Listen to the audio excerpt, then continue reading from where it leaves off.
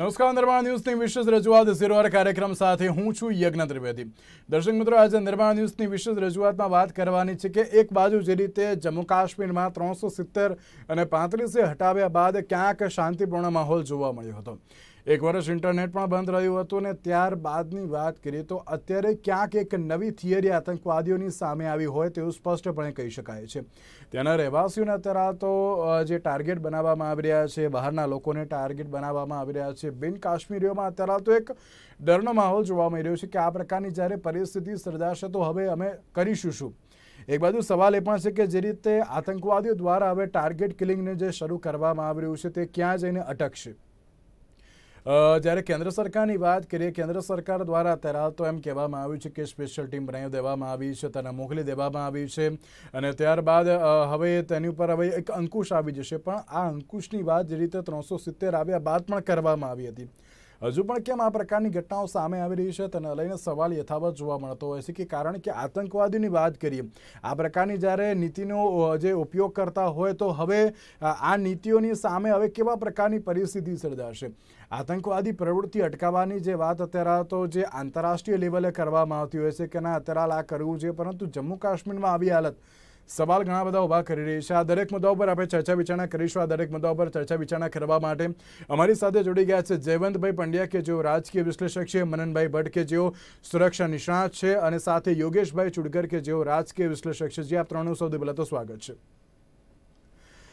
સૌથી પહેલો પ્રશ્ન જયવંતભાઈ આપને. એક બાજુ જે રીતે આપ રાજકીય વિશ્લેષક છો, સાથે જમ્મુ કાશ્મીરને લઈને અત્યારે આપ તો ઘણા જાણકાર છો. ત્રણસો સિત્તેર હટાવ્યા બાદ એક બાજુ શાંતિનો માહોલ જોવા મળતો હતો કે ના, અત્યારે હાલ તો જે રીતે શાંતિનો માહોલ જોવા મળશે, ક્યાંક કોઈ પણ પ્રકારની પરિસ્થિતિ ખરાબ નહીં થાય. એક વર્ષ ઇન્ટરનેટ પણ બંધ રહ્યું. અને ત્યારબાદની વાત કરીએ તો ત્યારબાદ પણ અત્યારે તો આ સુધારા વધારાની વચ્ચે સવાલ એ થતો હોય છે કે હવે શું જોવા મળશે. જયવંતભાઈ, સૌથી પહેલા તો આ જે આતંકવાદી હુમલા થઈ રહ્યા છે તેને લઈને આપ શું કહેશો? પહેલી વાત તો એ છે કે હમણાં થોડા દિવસ પહેલા માનવ અધિકાર દિવસ ગયો.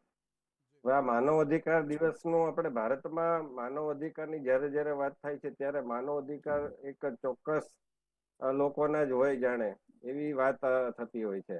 એટલે, અને બીજી બાજુ નાગરિકો નાગરિકોના મૃત્યુ થાય, નાગરિકોની હત્યા થાય, તો એના માનવ અધિકાર, પોલીસ અને સેનાના માનવ અધિકારની કોઈ ચિંતા નથી કરતું. એને કઈ પણ થાય નહીં. આટલા બધા જવાન આપણે જોયું કે છેલ્લા કેટલાય સમયમાં વીરગતિને પ્રાપ્ત થયા અને જમ્મુ કાશ્મીરનો જો ઇતિહાસ આપણે જોઈએ, તો સ્વતંત્રતા પછી તો કેટલા બધા થયા હશે.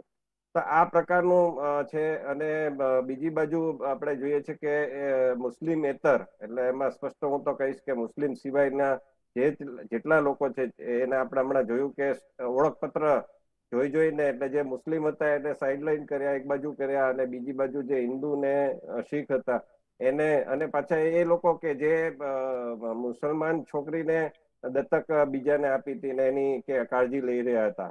એક ભાઈ એવા હતા કે જેના પિતરાઈ છે એ મદ્રેસા અને મસ્જિદની ડિઝાઇન બનાવતા હતા આર્કિટેક્ટ તરીકે. હવે આવા લોકો છે એની, એના માનવ અધિકારનો શું પ્રશ્ન આવે છે? એટલે આપણે ઘણી બધી ભૂલો જમ્મુ કાશ્મીર બાબતે કરી છે, પણ જાગ્યા ત્યારથી સવારને લઈને આપણે માનતા હતા કે ઓગસ્ટ બે હજાર ઓગણીસ પછી કે શાંતિ સપાશે. અને સફાઈ પણ રહી હતી. આપણે હમણાં જ બે વર્ષ પૂરા થયા ત્યારે આપણે ચર્ચા પણ કરી હતી. પરંતુ એક પછી એક છેલ્લા ઓગસ્ટથી લઈને અત્યારે ઓક્ટોબર સુધીમાં એટલે છેલ્લા બે મહિનામાં જેટલા હુમલા થયા છે, એટલા કદાચ આ બે વર્ષમાં પણ નથી થયા, એમ કહેવામાં મને કઈ વાંધો નથી. તો આ જે થયું છે, એની સામે આપણે કઈ કોન્ક્રીટ રણનીતિ અપના, અપનાવાતી હોય એવું લાગતું નથી. અને હું અને માત્ર જમ્મુ કાશ્મીર પૂરતો મર્યાદિત પ્રશ્ન નથી જોતો. હું આને ભારતની અંદર ઓવરઓલ જોઉં છું કે એક ડિઝાઇન એક ષડયંત્ર, એક લેન્ડ જિહાદ કયો, લવ જિહાદ કયો, જે પણ નામ આપો. આ ભરૂચમાં પણ આપણે હમણાં જોયું કે ત્યાં પણ મંદિર છે, વેચવા માટે કાઢ્યું. પછી જે લોકો છે, એમણે કીધું કે અમારા મકાન વેચવાના છે. આ બધા પ્રકારના ત્યાં થઈ રહ્યા છે. કેરાના હોય, મેવાત હોય, પછી આપણે પાટણ જિલ્લાનું વારાહી હોય. આવા ઘણી બધી જગ્યાએ આ બધી તકલીફો થઈ રહી છે વ્યવસ્થિત ષડયંત્ર પૂર્વક અને માત્ર હું કહી રહ્યો છું એવું નથી, કેરળમાં નાર્કો ટેરરિઝમના આક્ષેપો છે એ ચર્ચના પાદરી જે કહેવાય, માર જોસેફ કલરંગટ્ટ નામ છે એનું. એને પણ કર્યા છે. ચર્ચ પણ આ બાબતે ચિંતિત છે. એટલે આ બાબતે જો બધા ભેગા મળીને કઈ વિચારશે નહીં, તો મને લાગે છે આનો નિર્ણય નહીં આવે ને આ દેશમાં, આખા દેશમાં આ બધું થઈ રહ્યું છે. માત્ર જમ્મુ કાશ્મીર પૂરતું મર્યાદિત નથી. અને ત્રીજી વાત છે, એ, એક એ છે કે આને આપણે માત્ર ભારત દેશ પૂરતું પણ સીમિત ન જોવું જોઈએ. કારણ કે પાકિસ્તાનમાં થઈ રહ્યું છે, બાંગ્લાદેશમાં આપણે જોયું કે દુર્ગા વિસર્જન એ ત્યારથી માંડીને અત્યાર સુધી ચારેક દિવસમાં કેટલા હિન્દુઓના ઘર સળગાવી દેવામાં આવ્યા અને મારી નાખવામાં આવ્યા? જે ઇસ્કોન મંદિર, એની અંદર, મંદિરની અંદર ઇફતાર પાર્ટી આપતા હતા એ લોકો. પોતાના વિધર્મથી હોવા છતાં એને પણ એ લોકોને પણ મારી નાખવામાં આવ્યા. એટલે આ આ પ્રકારનું જે થઈ રહ્યું છે અને આ ભાજપના કોઈ નથી કીધું, કોંગ્રેસના મનીષ તિવારીએ કીધું છે કે દક્ષિણ એશિયામાં એક ઇસ્લામિક એજન્ડા ચાલી રહ્યો છે અને એમાં મુસલમાન સિવાયના લોકોને ટાર્ગેટ બનાવવામાં ટાર્ગેટ કિલિંગ એવો શબ્દ એમણે વાપર્યો છે. એટલે આ પ્રકારનું થઈ રહ્યું છે. અને મને લાગે છે કે આમાં આપણને અત્યારે કારણ કે પછી એની સામે સેનાની કાર્યવાહી થાય છે ને એમાં પણ સારી જ કાર્યવાહી થઈ છે. જેટલા આપણા જે નાગરિકો છે મૃત્યુ પામ્યા છે જવાનો વીરગતિ પ્રાપ્ત થયા છે, એની સામે ત્રાસવાદીઓ પણ મરે છે. પરંતુ જે લોકો આપણે ગુમાવ્યા છે એનું શું, એની એક એક જે જવાન છે એની આપણે તૈયાર કરવામાં કેટલી સમય લાગતો એક અમૂલ્ય જવાન હોય છે. તો આ આ પ્રકાર માટે હવે શું કરી શકાય એ રણનીતિ આપણે વિચારવી પડશે અને હવે જો નહીં જાગીએ તો આખા દેશમાં મને લાગે છે કે ગઝવા હિન્દ માટે તૈયારી થઈ ચૂકી છે. આ બહુ આકરા શબ્દો લાગશે પણ આ કોંગ્રેસના મનીષ તિવારી પણ કહી રહ્યા છે ને ઘણા લોકો આની સાથે સંમત થશે. તો આના માટે આપણે તાત્કાલિક પગલા લેવા પડશે. એક બાજુ મનનભાઈ, આ પણ જે રીતે સુરક્ષા નિષ્ણાત છો અને આ દરેક પરિસ્થિતિની વચ્ચેથી આ પણ જે રીતે અત્યારે તો અવગત હશો જ. જ્યારે આતંકવાદી હુમલાની આપણે વાત કરતા હોઈએ છીએ, કંઈક ને કંઈક એક નવું જોવા મળતું છે અને આ વખતે આતંકવાદીઓની એક નવી થિયરી જોવા મળી રહ્યું છે. ટાર્ગેટ કિલિંગ કરવામાં આવી રહ્યું છે. સૌથી પહેલાં તો આપ તેના લઈને શું કહેશો? ચોક્કસપણે હું શરૂઆત એકચ્યુઅલી આખા મુદ્દાને હું કાશ્મીરની બહાર ન લઈ જતા, અત્યારે કેવળ કાશ્મીરની વાત કરું. જમ્મુ કાશ્મીરની અંદર ખાસ કરીને કાશ્મીર ખીણમાં જે ટાર્ગેટેડ કિલિંગ્સ થઈ રહ્યા છે, એમાં એમાં કેટલાક લોકોને મુખબીર કરીને, એટલે એવું નથી કે કેવળ હિન્દુઓની જ હત્યા થઈ રહી છે જે લોકો ભારત તરફી છે, જે લોકો, મહેબૂબ મુફ્તીએ તમને યાદ હશે કહ્યું હતું કે ભારત કા ઝંડા પકડને વાલા તિરંગા પકડને વાલા કોઈ નહીં મિલેગા. તો જે લોકોએ તિરંગો પકડ્યો છે, જે લોકો મુખ્ય ધારામાં આવવા માંગે છે તેમની હત્યાઓ થઈ છે. હવે આમાં તમે યાદ કરશો તમને યાદ દેવડાવું કે જે રીતે રાઇફલમેન ઔરંગઝેબને કિડનેપ કરીને એની હત્યા કરી નાખવામાં આવી હતી, એવી રીતે કેટલાય પોલિટિકલ એક્ટિવિસ્ટ કે જે લોકો નેશનલિસ્ટ હતા, તેમની હત્યાઓ કરવામાં આવી છે.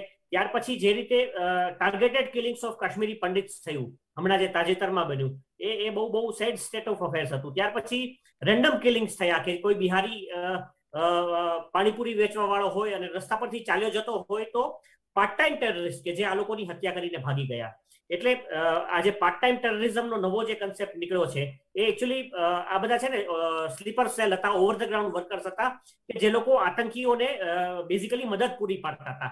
તેમના હાથમાં હથિયારો આપીને એને કીધું છે, કોઈ વિદ્યાર્થી હોય, કોઈ ટીચર હોય જેને ટેરર સિમ્પથાઇઝર આપણે કહી શકીએ, જે લોકો આતંકવાદીઓ પ્રત્યે કુણી લાગણી ધરાવતા હોય. એને કહ્યું હોય કે ભાઈ, અલે આ એના હાથમાં ગન અથવા તો ગ્રેનેડ આપીને એને મોકલવામાં આવે, એ એકાદી હત્યા કરી જાય, કરી આવે, મોઢે બુકાની બાંધેલો હોય ને પાછો આવીને પોતાના કામમાં લાગી જાય. એટલે તમને એ તમને ખ્યાલ ના આવે સુરક્ષા એજન્સીઓને ખ્યાલ જ ના આવે કે હત્યા કરીને કોણ વયું ગયું.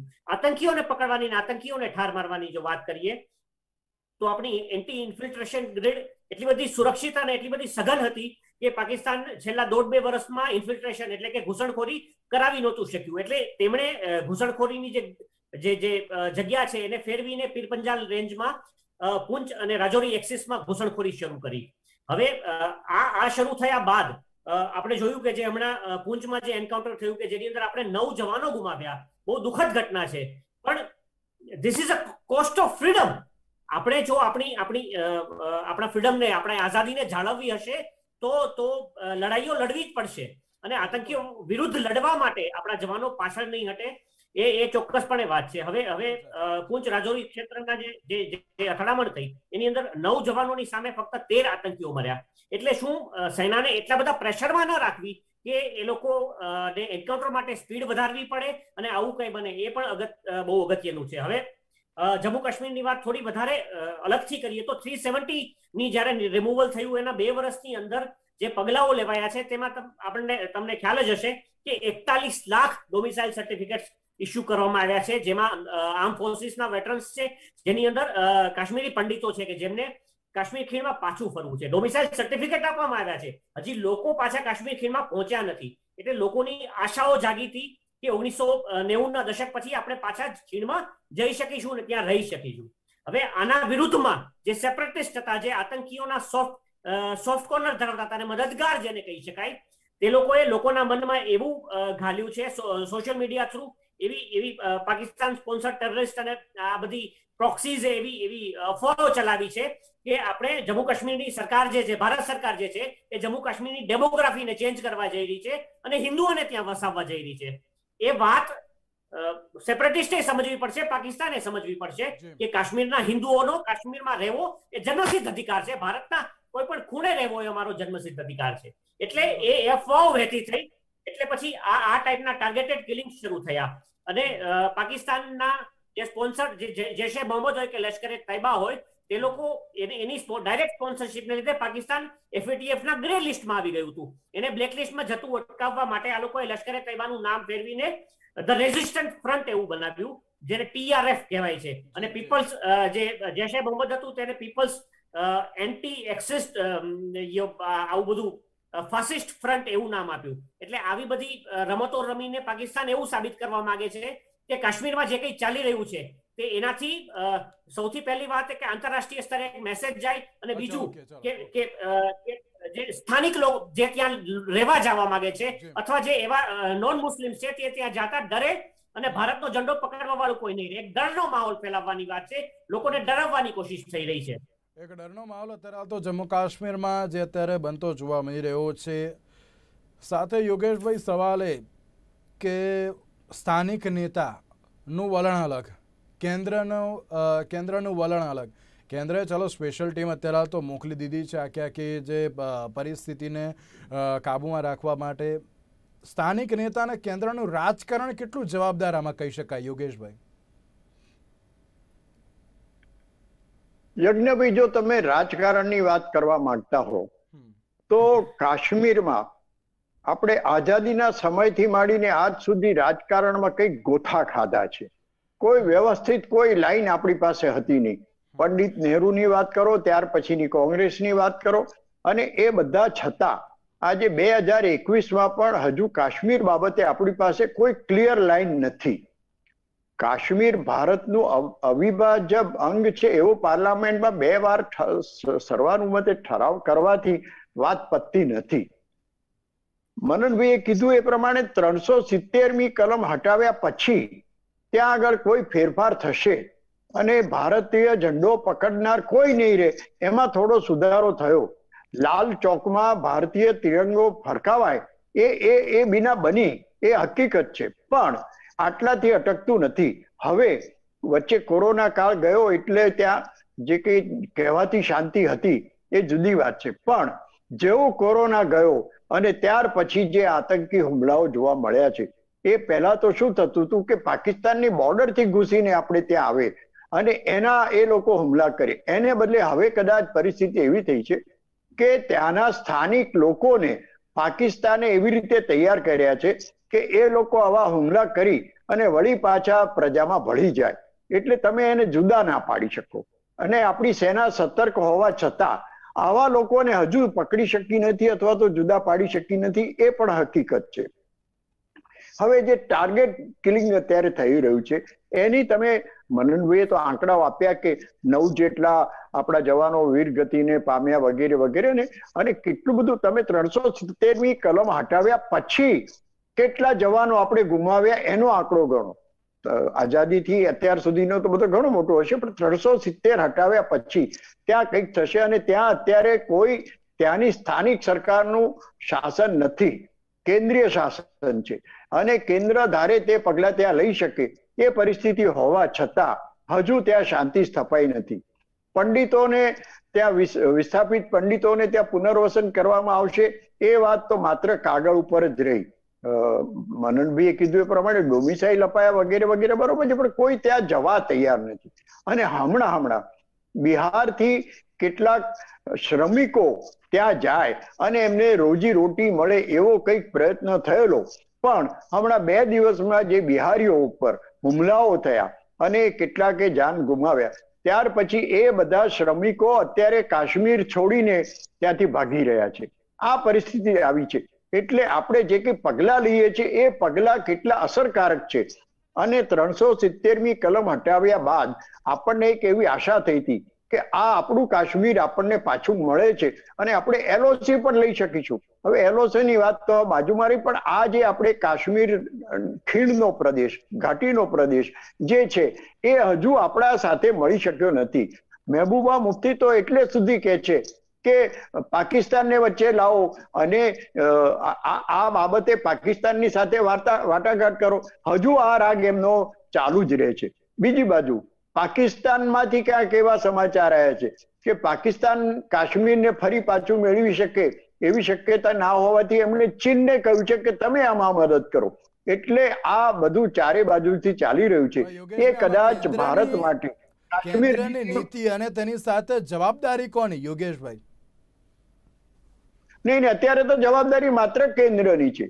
ત્યાં કોઈ સ્થાનિક સરકાર તો છે જ નહીં. હા, ત્યાંના સ્થાનિક નેતાઓ જે પહેલા કરતા હતા, એ જાતની ગરબડો અત્યારે કરી રહ્યા છે.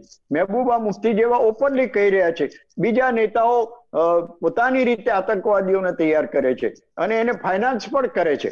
અને એના કારણે ત્યાંના સ્થાનિક લોકો અત્યારે આ આતંકવાદ પ્રવૃત્તિ ચલાવી રહ્યા છે. અને એ, એવા દેખીતા આતંકવાદી નહીં હોવાથી એમની પર કોઈ પગલા નથી લઈ શકાતા. એ હકીકત છે, કારણ કે એ પછી સામાન્ય પ્રજાજનની જેમ ભળી જાય છે.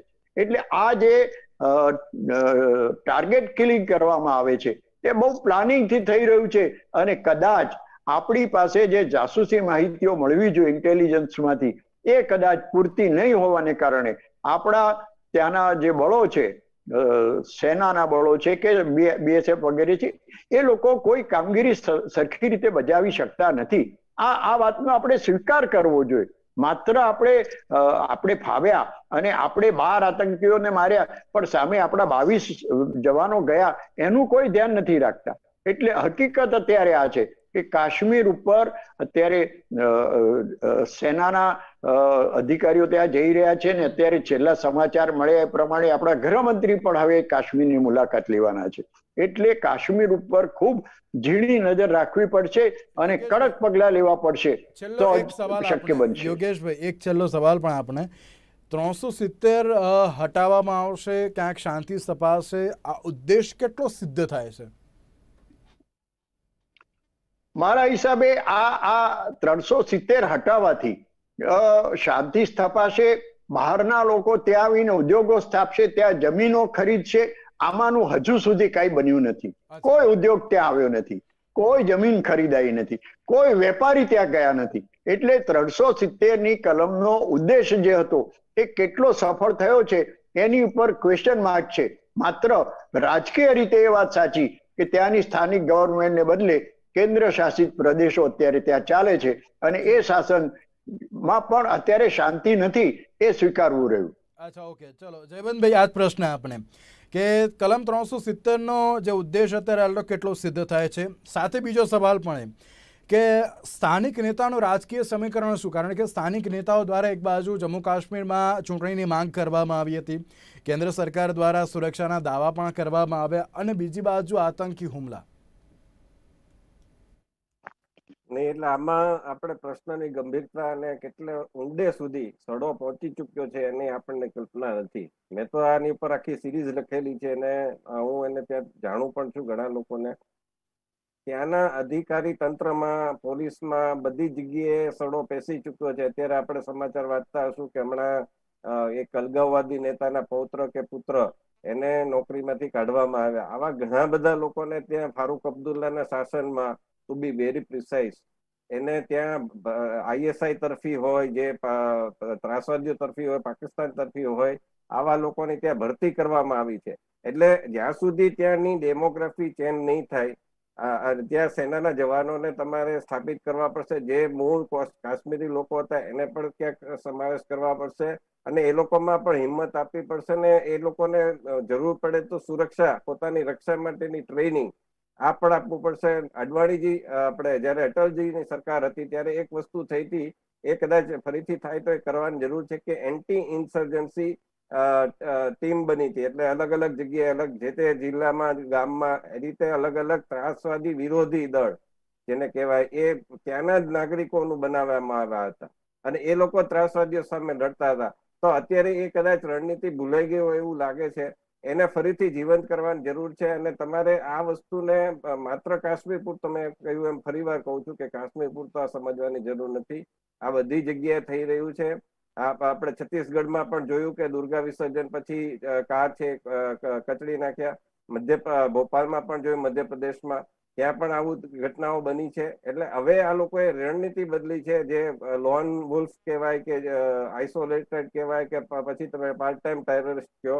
આ પ્રકારની રણનીતિ, કારણ કે ઇન્ટેલિજન્સ ને એ બધું હવે સારું થઈ ગયું છે, જેના કારણે આપણે છેલ્લા સાત વર્ષમાં કોઈ બોમ્બ ધડાકા કે એવા મોટા ત્રાસવાદી હુમલાઓ કાશ્મીર સિવાય ક્યાંય જોયા નથી. તો હવે એ લોકોએ રણનીતિ બદલી હોય એવું મને લાગે છે. મનનભાઈ મારા કરતા વધારે સારી રીતે કહી શકશે. પણ મને એવું લાગે છે કે રણનીતિ બદલી છે અને આ રીતના સિંગલ એટેક કરવામાં આવી રહ્યા છે. અને માત્ર કાશ્મીર નથી, આ દરેક જગ્યાએ થઈ રહ્યું છે અને આપણે એને એ રીતે લેવું જોઈશે. પૂછ્યું કે ઉદ્દેશ કેટલો સિદ્ધ થયો છે ને રાજકીય સમીકરણ?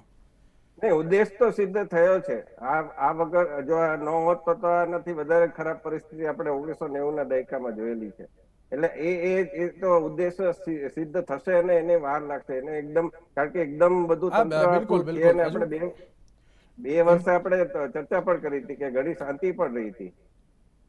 જી, બિલકુલ. તો એક બાજુ જે રીતે સવાલ મનનભાઈ આપના છેલ્લો એ કે આતંકવાદ ઉપર આપણે આંતરરાષ્ટ્રીય લેવલે ઘણી બધી વાત કરી.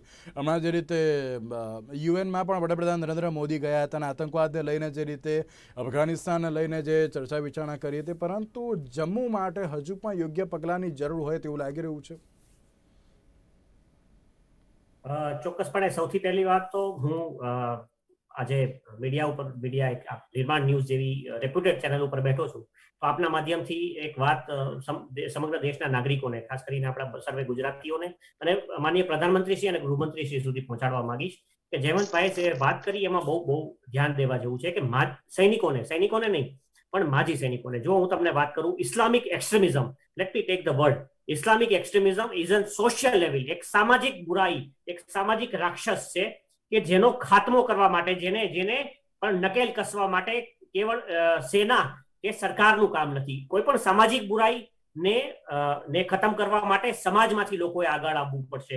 તો સમાજમાંથી આ ઇસ્લામિક એક્સ્ટ્રીમિઝમ પર નકેલ કસી શકે એવા કોણ છે? તો સમાજમાં રહેલા એવા સૈનિકો કે જેઓ નિવૃત્ત થઈ ચુક્યા છે, જે સમાજનો અંગ છે. The army the army itself is not capable આર્મીની આર્મીનું કામ છે આતંકીઓ સામે લડવાનું. પણ આતંકવાદ સામે એક્સ્ટ્રીમિઝમ સામે લડવા માટે આપણે પહેલા પણ જોયું કે જ્યારે જ્યારે દેશની સુરક્ષાને ખતરો આવ્યો, એવા પ્રદેશોમાં પછી એ ભુજ હોય કે પછી અંડમાન અને નિકોબાર આઇલેન્ડ હોય, ત્યાં બધે માજી સૈનિકોને બોર્ડર એરિયા પર વસાવવામાં આવ્યા. જેથી ઘૂસણખોરી પણ અટકાઈ અને જેથી એક્સ્ટ્રીમિઝમ અથવા તો મ્યાનમાર અથવા બીજા દુશ્મની દુશ્મન દેશોની ભારત તરફની એક્ટિવિટીઝ ઉપર કંટ્રોલ આવી ગયો.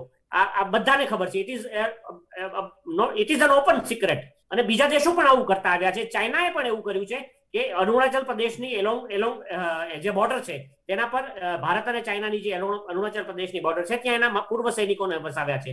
તો ભારતને તેના બેથી અઢી લાખ માજી સૈનિકોને જમ્મુ કાશ્મીરમાં વસાવતા ત્યાં ત્યાં એમને પરમાનન્ટ સેટલ કરતા કોણ રોકે છે? જ્યાં સુધી એ નહીં થાય, ત્યાં સુધી એ પોસિબલ જ નથી કે જમ્મુ કાશ્મીરની અંદર આ જે ડેમોગ્રાફિક ચેન્જ થઈ ગયો છે, જે રીતે જે રીતે બહુમતી આખી એક્સ્ટ્રીમિસ્ટ ઇસ્લામીઓની થઈ ગઈ છે. તેને ચેન્જ આપણે કરી શકીએ. એટલે ચોક્કસપણે એ હું હું આ છે બે હજાર સોળથી આ વસ્તુ લખી રહ્યો છું અને લગાતાર હું ડિબેટ્સમાં અને અલગ અલગ જગ્યાએ કહી રહ્યો છું કે આપણે કોઈ પણ હિસાબે બેથી ત્રણ લાખ માજી સૈનિકોને ત્યાં વસાવવા પડશે વિથ ગન લાયસન્સ. એટલે જે આવી રીતે ઉઠવાની કોશિશ કરે તેને ત્યાં ને ત્યાં દામી દેવામાં આવે. ભારત વિરુદ્ધનો જ્યારે જ્યારે અવાજ ઉઠે તેને ત્યાં ત્યાં દબાવી દેવામાં બિલકુલ સાચી વાત છે. એક બાજુ જે રીતે જમ્મુ કાશ્મીરની વાત કરીએ તો જમ્મુ કાશ્મીરમાં એક બાદ એક જે અત્યારે આતંકી હુમલાઓ જે વધી રહ્યા છે, બિન કાશ્મીરના ક્યાંક ટાર્ગેટ પણ કરવામાં આવી રહ્યું છે. હવે આ ટાર્ગેટ કિલિંગ ક્યારે રોકવામાં આવશે તેને લઈને પણ સવાલ યથાવત છે. ચોક્કસ જે રીતે ધરાવતો કેન્દ્ર સરકાર દ્વારા કેન્દ્ર સરકાર હરકતમાં આવી ગઈ છે ત્યારે સ્પેશિયલ ફોર્સ પણ ત્યાં મોકલી દેવામાં આવી છે. હવે ક્યારે આખી જે હવે મામલો થાય પડશે તે તો હવે જોવાનું જ રહ્યું. તેની સાથે જે આપણા જમ્મુ કાશ્મીરમાં જે જવાનો છે ને તેની સાથે જે રીતે આખા ભારતમાં જે જવાનો છે તેમની કામગીરી તો અત્યારે ચોક્કસથી એક બિરદાવા લાયક છે અને તેની સાથે નિર્મળા ન્યૂઝમાં તેમને એક સલામ કરે છે. કારણ કે જે અ, અત્યારે તો કામગીરીની વાત હોય કે પછી આ જમ્મુ કાશ્મીરની જે વાત હોય, તો તેમાં જે અત્યારે ઉત્તરોત્તર હવે હુમલામાં વધારો થઈ રહ્યો છે. તેમાં હવે ક્યારે ઘટાડો થશે તે તો હવે જોવાનું જરૂર તેની સાથે જયવંતભાઈ, યોગેશભાઈ અને મનનભાઈ, આપ ત્રણનો આભાર અમારી સાથે ચર્ચા વિચારણામાં જોડાવા માટે. તો દર્શક મિત્રો, આજની આ વિશેષ રજૂઆતમાં બસ રજા આપશો. નમસ્કાર.